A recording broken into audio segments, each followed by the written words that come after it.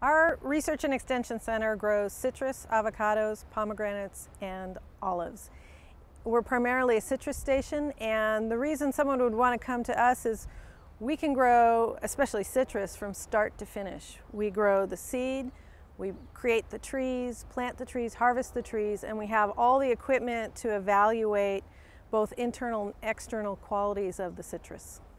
Lindcove is unique because the researchers are able to do whatever they want with the citrus trees, uh, apply whatever kinds of treatments without being concerned like a grower would be with whether that is uh, damaging the trees or affecting the, the yield. They can apply the treatments and then we can do the harvest and, for them and help with the evaluations and then they have all kinds of data.